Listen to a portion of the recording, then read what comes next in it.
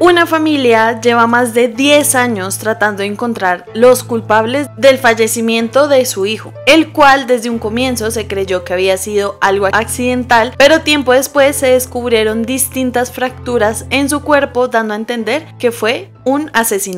Hola y bienvenidos a un nuevo video, como ya vieron en el título y en la intro vamos a estar hablando de uno de los casos más famosos y hablados en los últimos años y es el caso Colmenares. El día de hoy decido traer los datos curiosos ya que este caso se volvió a abrir y pueden pasar distintas cosas desde aquí en adelante, entonces sería después lo que pueda pasar a hacer una segunda parte, pero obviamente sin antes recordarles que me pueden seguir en todas mis redes sociales, me encuentran en Instagram, en Facebook, en TikTok.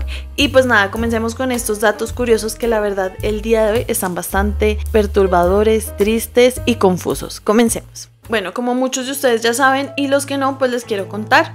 Eh, la persona que pasó por todo esto es Luis Andrés Colmenares, el cual nació el 23 de mayo de 1990 en Villanueva, La Guajira. Era estudiante de Economía y de Ingeniería Industrial de la Universidad de los Andes de Bogotá. Esta es una de las universidades pues más prestigiosas por decirlo así de la ciudad. Y su final fue cuando apareció en el caño El Virrey el 31 de octubre del 2010. Esto pasó después de que él asiste a una fiesta de Halloween en una discoteca de la zona rosa de Bogotá. En ese momento la noticia no tuvo como mayor importancia ya que se había creído que él se había caído al caño y pues por esto había perdido la vida. Básicamente dejándolo como que había sido un accidente. Pasando así un año, pero después de esto sus padres deciden como acosar, pullar un poco y decir miren nosotros no creemos que esto haya sido un accidente, por favor vuelvan a hacerle la autopsia a mi hijo, que, que fue lo que en realidad le pasó. La fiscalía al reabrir el caso se dieron cuenta que habían como cosas que no cuadraban mucho y aquí empezaron a salir distintas teorías, poniendo como principales sospechosos del asesinato a Laura Moreno, que era la expareja de Luis Colmenares,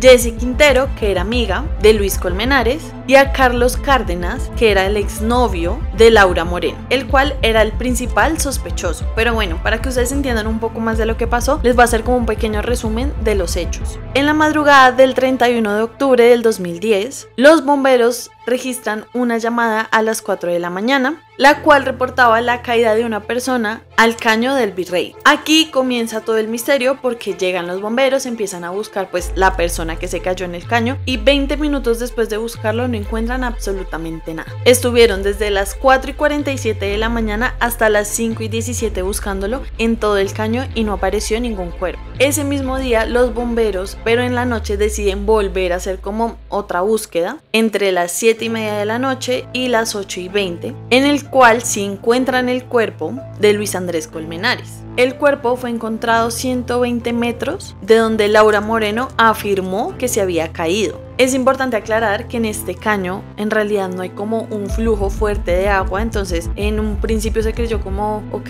de pronto el caño arrastró el cuerpo, pero después se dieron cuenta que era muy difícil que con esta poca cantidad de agua pudiera pasar esto y al comienzo se creyó que cuando cayó el cuerpo él había perdido la vida porque se había ahogado. A él se le realizaron dos autopsias. La primera reveló que Colmenares tenía una intoxicación por alcohol de grado 3, lo cual apoyaba la teoría de que había perdido la vida de manera accidental. Entonces, él simplemente se encontraba muy borracho, se acercó hacia el caño, se cayó y perdió la vida. Básicamente esa era la primera teoría. Pero un año después, cuando la familia pide que por favor se vuelva a reabrir el caso, le vuelven a hacer una segunda autopsia y se dan cuenta, arrojó que Colmenares sufrió ocho fracturas en el cráneo, reforzando la segunda teoría que fue un homicidio. La versión de sus compañeras es que Colmenares cayó accidentalmente y que los primeros bomberos que fueron a hacer la revisión simplemente no buscaron bien. Ellos no hicieron su tarea de manera adecuada y por lo tanto no encontraron el cuerpo. Pero la versión de la fiscalía indica que el Colmenares habría sido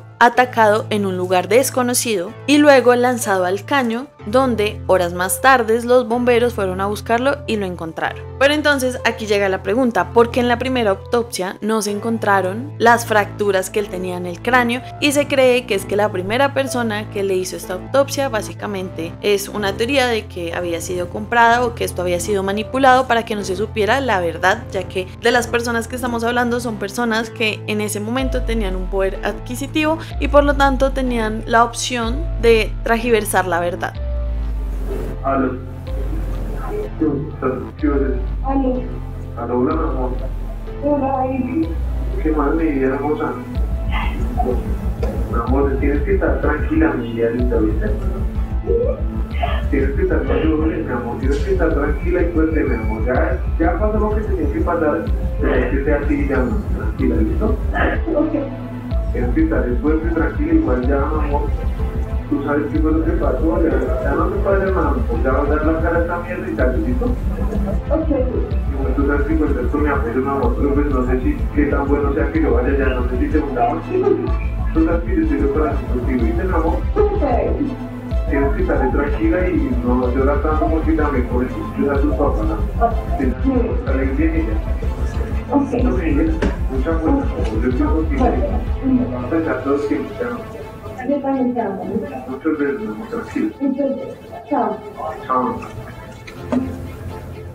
Igual si ustedes quieren saber un poco más sobre toda esta historia, este caso tiene muchísimas cosas por saber. Hay una serie bastante interesante en Netflix, la cual la encuentran como La historia de un crimen Colmenares. Esta se estrenó en mayo del 2019, es bastante buena, te pone a pensar, muchas veces tú dices como, ah no, sí, fue accidental, pero después tú dices como, no, esto definitivamente fue un homicidio. Estas tres personas, Laura Moreno, Jesse Quintero y Carlos Cárdenas, en su momento se creyó que iban a ser judicializados que iban a tener que pagar cárcel.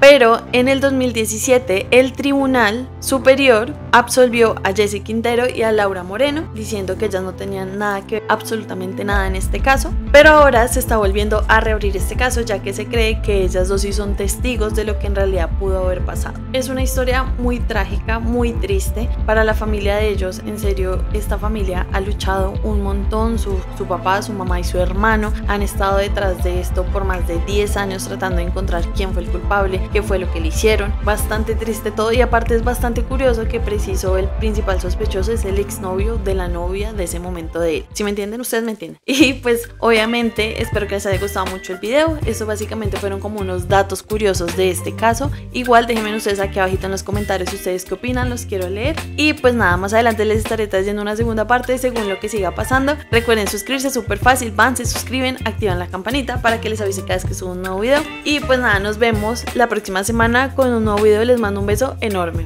Chao.